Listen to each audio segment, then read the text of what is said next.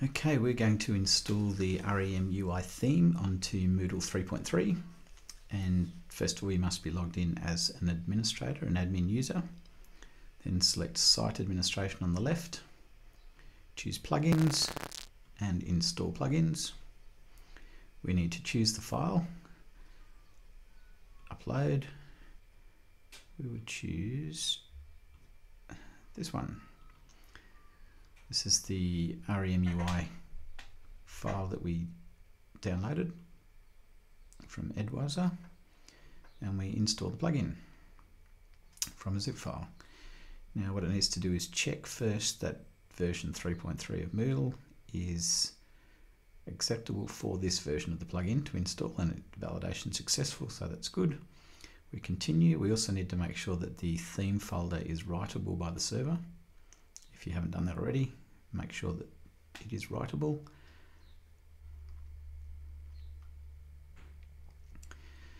So the theme's now been added to the themes folder, theme REMUI, and to be installed we need to upgrade the Moodle database to show that this theme is now available. So we'll go upgrade Moodle database now.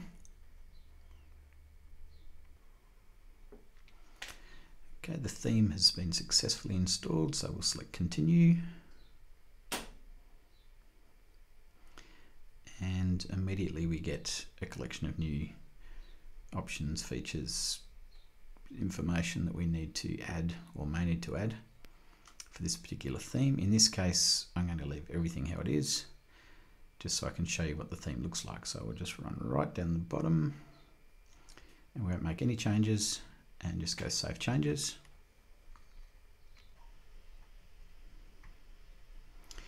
And now it's all installed. So we are right to go and have a look at this theme. So we'll go to Site Administration, select Appearance, Theme Selector, change theme, and if we scroll down we'll find Edwiser REM UI and we will use this theme.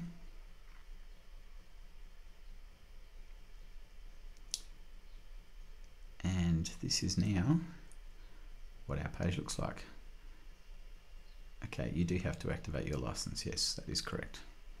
I'll just remove that for now. Uh, this is the layout that you get with the new theme. And it has the right hand menu or right hand tab for bookmarks and other blocks. Block editing is now available here, which is really, really nice. Uh, left hand menu gives you all of these options. Site admin is down the bottom. And there's a collection of tabs for the site blog, a collection of options you can click on to get new courses, course archive, and the settings for REMUI, which I will just quickly show you one important setting.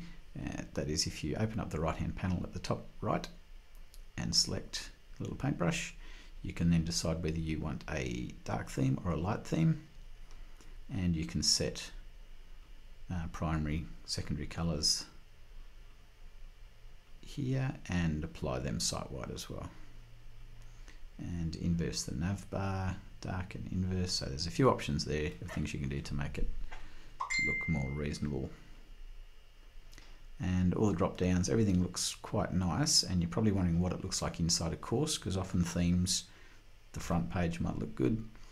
But when you go into a course, it all changes. So inside this course, you can see this is the Dev1 course and this is the default layout. So in this course I have topic 1, 2, 3 and 4. Uh, if I go into test 1 as an example,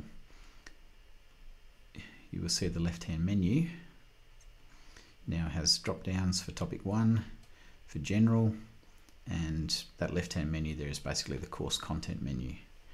And over here we just have an activity that we will answer and we will check it. Oh, that's the result we got.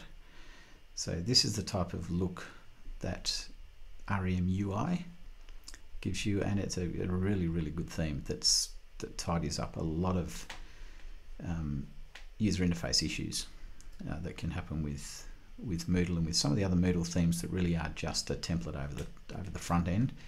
But this one deals right with the whole content. This theme deals with the content as well and makes it all extremely usable and that's the completion tick. Actually, you can go green when you've completed this page if you've got completion on.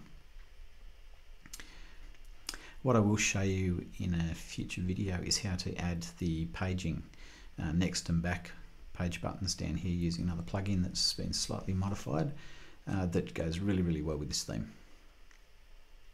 If you need to access or need to get a copy of this theme, you do need to purchase it. It's not a free theme, and there'll be a link in the video notes where you can go and grab that theme.